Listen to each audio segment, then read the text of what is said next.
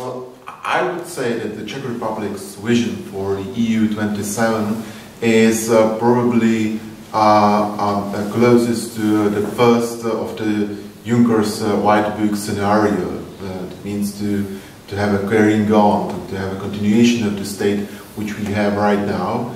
But uh, some politicians in the Czech Republic underlined uh, the fact that the EU uh, should do perhaps less, but more more efficiently, which is the for the uh, scenario. But definitely, uh, the vision uh, is of the EU 27. So no more divisions, no more exits from from the EU. That would be the Czech priority. Well, the, enlarge, the enlargement uh, has been always uh, the priority of the Czech uh, EU policy, but I would say that it has a little bit toned down in, in, in, the past years. The, the, the Western Balkans integration and the Eastern Partnership remain among, the, the EU, the Czech EU's foreign policy priority. Well, the, the, as for the priorities, the current government uh, singles out two issues. Uh, one is uh, the reform of the asylum and migration uh, uh, policy, which should be uh, done by, you know, in June Uh, uh, this year, or at least the main decision should be uh, should be fine by June this year, and then definitely the the future of the, of the EU budget the next EU multi-annual financial framework because uh, it's perhaps the last chance for the Czech Republic to, to get a, a huge funding from EU sources and uh, that is really important for, for the Czech Republic right now.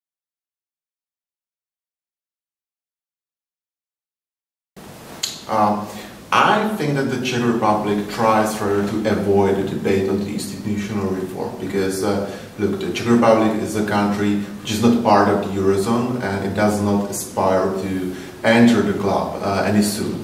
And if there is a, any institutional reform, it would mean the strengthening of uh, institutional strengthening of the of the, uh, the Eurozone institutions, which is not the Czech Republic part of, and that would mean that kind of a, a second-class membership for uh, the Czech Republic. So yes, there are some issues the Czech Republic is interested in, like uh, uh, strengthening of the role of the national parliaments. But uh, um, when it comes to huge institutional reform, that's not a, a Czech priority because uh, it would be very risky for the Czech position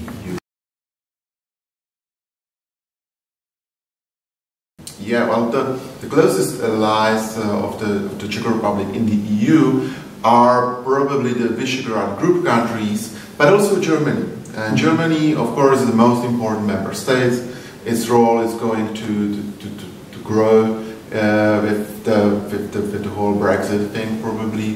Um, but Germany also uh, tries to keep, for example, the door to the Eurozone as open as possible it tries to uh, um, uh, to, to connect uh, the, the, the, the, west of the EU and the east of the EU. Uh, so, so Germany is definitely uh, an important partner, and it is also the, the major uh, trade partner of the Czech Republic. But as for kind of a bloc or lobby group, the V4 is definitely important, not only as, as the four countries, but also as as a, a basis for a broader coalition of the so-called new member states, the member states of the Central and Eastern, uh, Eastern Europe.